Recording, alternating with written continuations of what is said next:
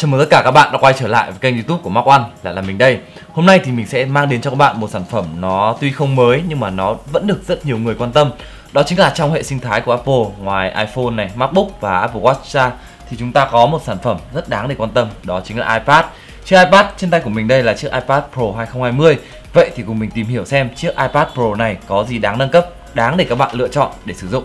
Tìm hiểu của mình trong video ngày hôm nay nhé.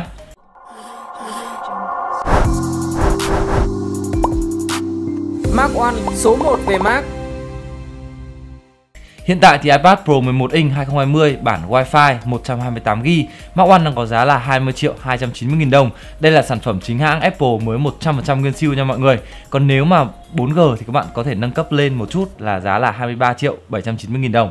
Nếu mà nhìn ở mặt trước như này thì các bạn có thể thấy được rằng nó giống y hệt chiếc iPad Pro 2018 Bởi vì là từ màn hình này, thiết kế cho đến màu sắc thì nó không khác gì cả. Nhưng mà khi mà quay lại này Đó, các bạn thấy không? Rất nhiều chân trâu đường đen ở đây và ngoài camera chính của chiếc iPad Pro 2020 này ra Nó còn có thêm một camera góc rộng 8 megapixel Và một cảm biến LiDAR Và mình sẽ thử test luôn cho các bạn xem nhé đây, đây là camera góc thường của máy khi mà chúng ta chụp mà muốn rộng hơn, ví dụ như chúng ta đi chụp phong cảnh chẳng hạn thì chúng ta chỉ cần chuyển sang 0.5. Đó, thì chúng ta sẽ có một số cái bức ảnh góc rộng ở đây, mình sẽ chụp luôn cho các bạn xem nhé.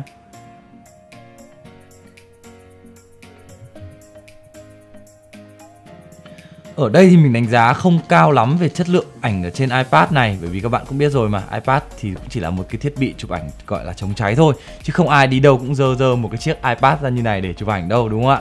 Và cái cảm biến LiDAR này nó sẽ có một cái tác dụng là nó sẽ đo một cái tia laser từ máy cho đến vật thể để đo một cái khoảng cách chính xác nhất. Và nó có một cái này rất là hay ở ứng dụng là Measure của Apple.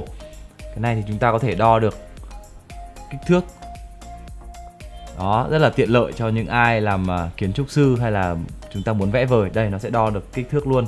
Uh, diện tích của chiếc biển này là 0,29 mét vuông chiều dài là 62 cm và chiều ngang là 47 cm và cũng khá là chính xác đấy chứ. Và mình sẽ đo thử khoảng cách của một vật thể nhé bây giờ mình sẽ đo thử cái chiếc iMac này. Chiếc iMac này của mình có kích thước là 21,5 inch và mình sẽ đo nhé nó sẽ rơi vào khoảng tầm 52 cho đến 53 cm xem cảm biến này nó có đo có chuẩn không?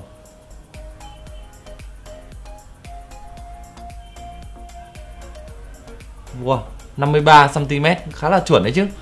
Đấy, các bạn có thể đo cái chiếc máy này để à, chúng ta đo những cái vật thể ví dụ như là trong không gian chẳng hạn. Và mình xin được nói sơ qua về giao diện của chiếc iPad này. Nó giống icon y hệt của chiếc MacBook và chiếc iPhone như chúng ta sử dụng. Nó rất là quen thuộc cho những người nào mà sử dụng hệ sinh thái của Apple.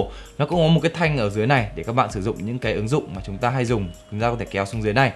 Và màn hình của chiếc máy này có kích thước là 11 inch Và nó có một phiên bản nữa là 12.9 inch. Nhưng mà hôm nay mình sẽ review chi tiết cái bản 11 inch này cho chúng ta.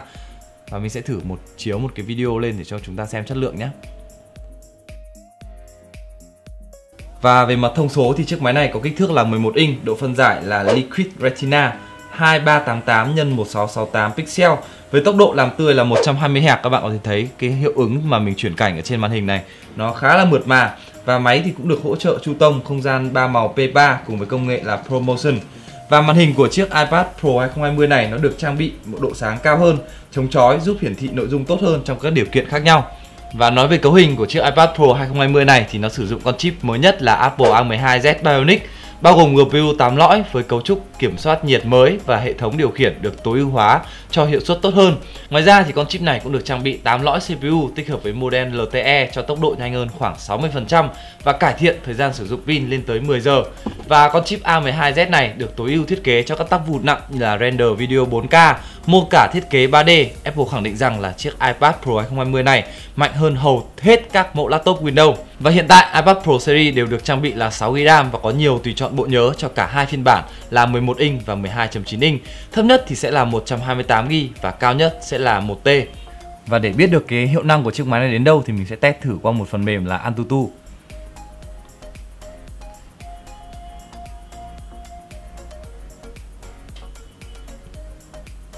Và kết quả benchmark của nó ở đây thì các bạn có thể nhìn thấy nó đã đạt 680.909 điểm và nó sấp xỉ ngưỡng là 700.000 điểm và Apple đã khẳng định được rằng là con iPad Pro này nó mạnh hơn bất cứ một con laptop Windows nào trong cùng tầm giá. Và nói đến phần hiệu năng này thì mình cũng thử test cho các bạn xem là 6GB RAM ở trên iPad Pro nó thực sự là đỉnh cao như nào nhé. Mình sẽ mở một số cái ứng dụng lên để xem lát nữa nó có bị loát lại hay không. Mình nghĩ là những ứng dụng cơ bản này thì nó rất là mượt mà rồi. Và mình sẽ thử mở sang một số cái tựa game nặng đi.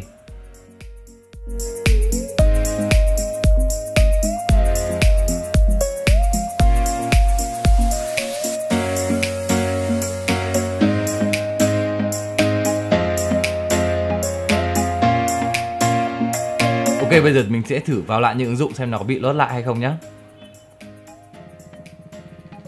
Website Không phải lót lại Candy Crush. PUBG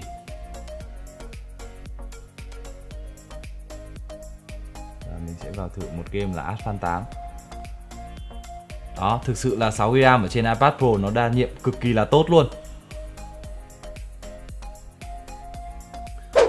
Và mình sẽ nói qua một chút về vỏ nhôm của chiếc máy này thì Apple vẫn là điểm mạnh của họ về mặt gia công thiết kế. Khi mà mình sử dụng nhiều cái ứng dụng như thế thì vỏ nhôm này nó sẽ tản nhiệt một chút nhiệt qua cái phần này của máy và phần ở bên dưới này.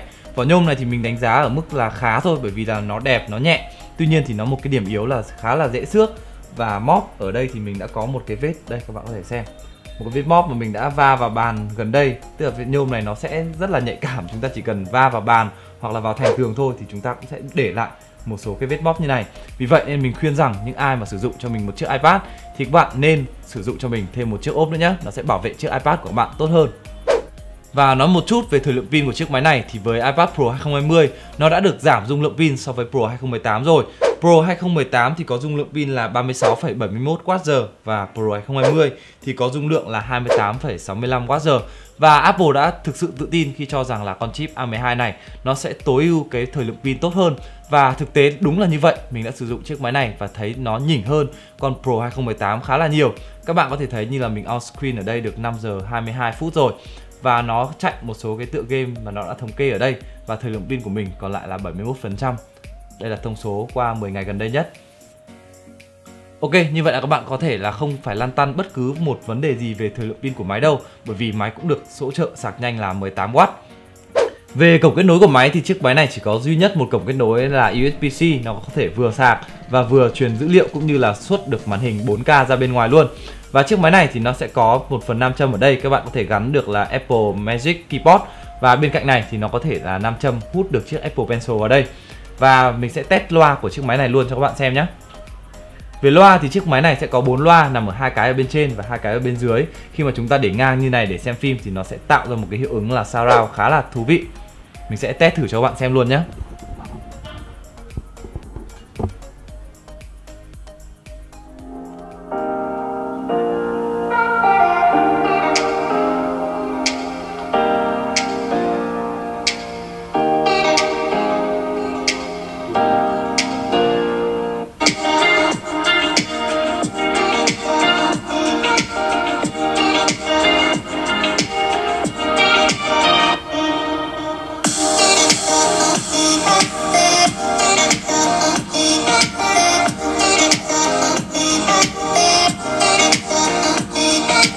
Đó, các bạn có thể nghe được là âm thanh của chiếc máy này, âm bass của nó rất là rõ ràng và mình nghĩ rằng nó sẽ đáp ứng rất là tốt cho những ai hoặc là những cái tín đồ về đam mê phim ảnh.